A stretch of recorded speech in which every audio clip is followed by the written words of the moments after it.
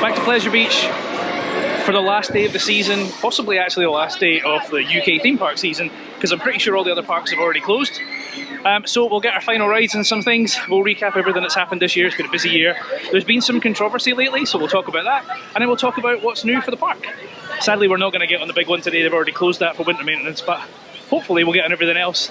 And it's a Sunday, last day. I'm sure it'll be nice and quiet.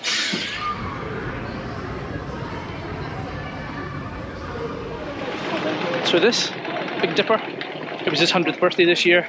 They gave it a glow up, they've given it a fresh coat of paint. Um, it's still rough, it's still raucous. you know what, that's what makes the ride what it is. Also, I managed to get on Walk the Woody this year, which was an amazing experience. Thoroughly enjoyed all the behind the scenes, kind of getting around. It was just so much fun. If you haven't checked that video out, I'll put a card somewhere up there. Fantastic experience. Thoroughly recommend if it's back next year that you go on it. It is amazing. It is a little bit of a workout though, climbing up those hills, but great fun.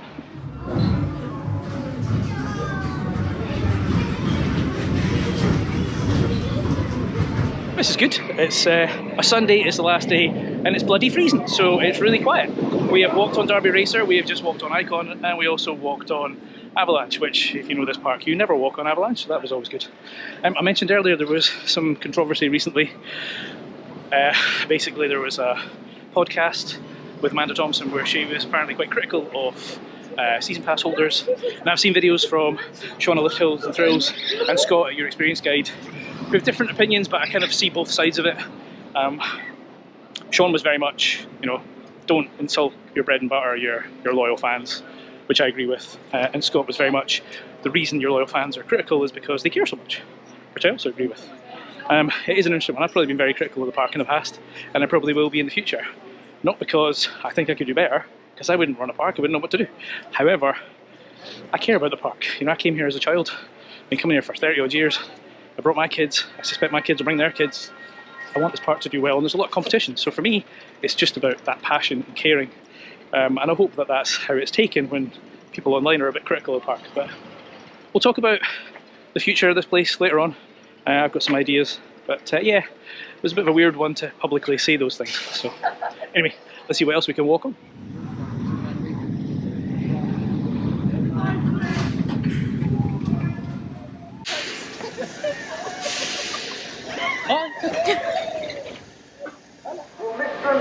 Another thing that Blackpool has added this year is some new season pass options. So they've always had the all year round season pass, which I've got for the past few years.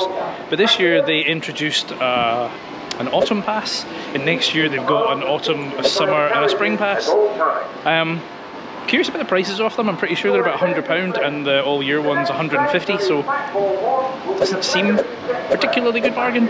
But if you're somebody that's not going to be here all year round, you're just going to come for certain parts of it, that's a new thing that they've added this year, so always something there to check out.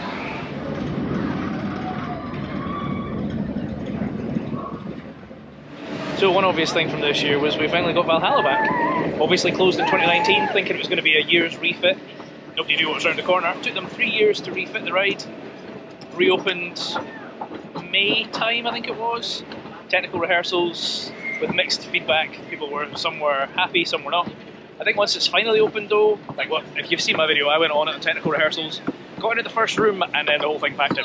Which was great because I got to see behind the scenes. But we did eventually get on it um, and I got absolutely drenched and I thought it was fantastic. I am trying to get my kids on it today, but I'm pretty sure none of them are going to go on it with me. Um, but it's great to have that back. I do worry though that that's kind of eaten up all their budget for new rides, but uh, we'll talk about that a little bit later on.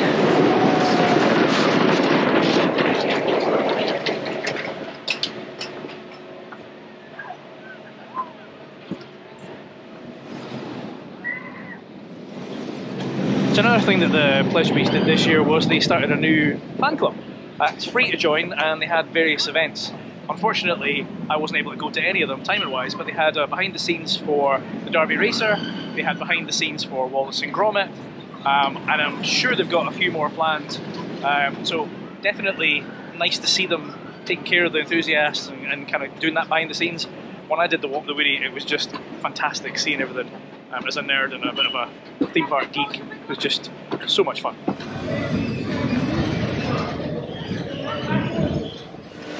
So I want to talk a little bit about what is next or what could be next for the Pleasure Beach.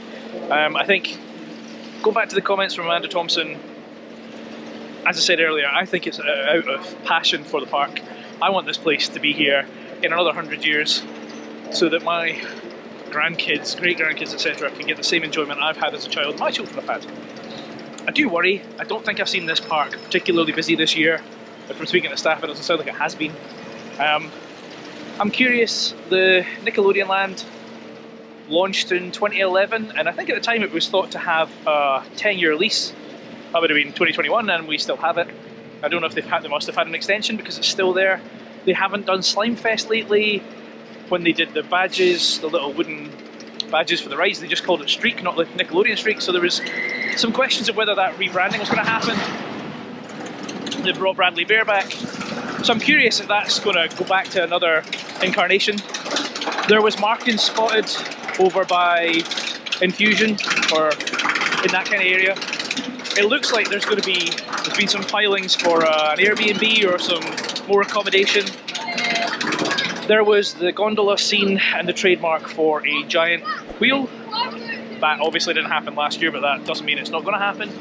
Maybe it's coming, maybe it's been scrapped, who knows. And then I guess as an enthusiast, it's always what's next, right? The general public, obviously, they're happy with what's here. But there's that what's next. You see all these other parks putting new rides in. Pleasure Beach has obviously been investing a lot of money, right? They've spent something like four million on Valhalla. They're retracking the big one, and again this year. They've done the Big Dipper, you know, glow up. Um, I suspect they're going to do something for the big one next year. It's 30 years old. Um, but you know, what is the next ride? You can't just call up a manufacturer and go, "Hey, can I get a coaster next year?" That's not how it works. You know, a whole process of selecting a manufacturer, going through the planning process, then getting permission and all that sort of stuff. Typically takes around five years. So you've got to think Icon was the last one in 2018. That is five years. Um, hopefully they've already started the process.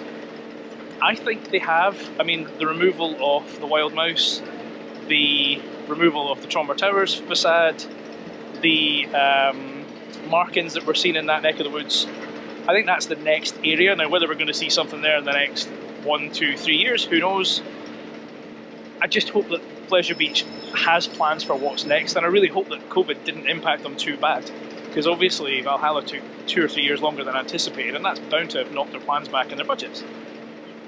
So, as a, as a season pass holder, as a fan, as one of those critics that Amanda was talking about, I just want the park to do well. I really want this park to be here in another hundred and odd years' time. Um, and yeah, just keen to see what the next thing is. I'd love to know in the comments what you think is next for the ride, what you'd love to see come at the park.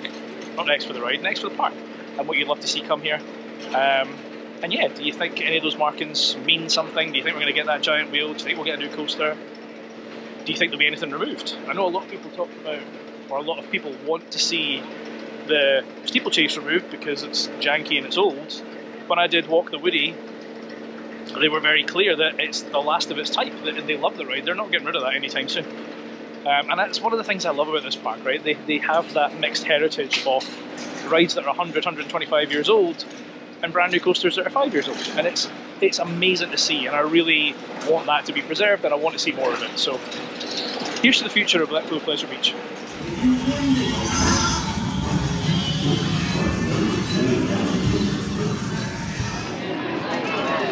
It's probably the quietest I've seen this place in a long time. Everything is walk on. That's the longest wait we just had in Wallace and Gromit. Uh, kids been on the dodgems, all sorts of stuff. Just walk on. Um, I do now know which bit of the big one is getting retracked because they've got scaffolding up at the first hill after the drop. Uh, so clearly that's the section they're going to be working on this year. Um, be interesting to see. I think sometimes you can notice the difference, but it's still I still think it's a pretty rough coaster. I like it, but uh, not particularly fussed that it's, that shut today. Um, I think we're going to try and do Big Dipper. I've been on it once since it reopened, and the rest of them have not. So let's go get that done.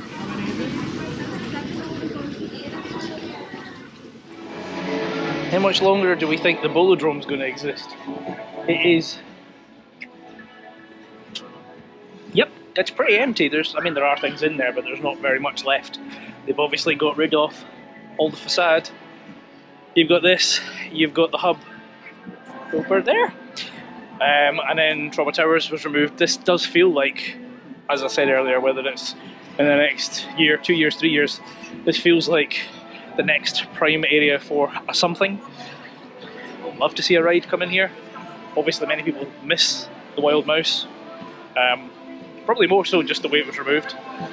Um, but yeah, it's so quiet. Actually, quite a lot of things are closed.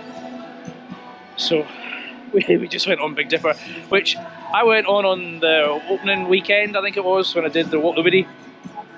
Uh, but yeah, forgot how rough that is.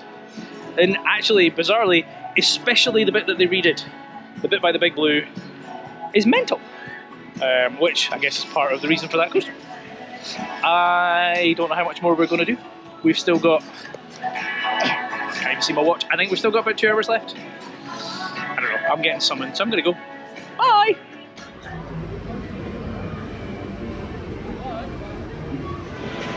Two more walk-ons. Did Grand National. One side, I don't end up greased the track because one side absolutely flies around, and the other side is about two days behind. Not loud. Um, and then went on the ghost train, which is always fun when you're with somebody that doesn't know where the jump scares are. um, right, I think we're going to go do Icon, flying machines, and then call it a day.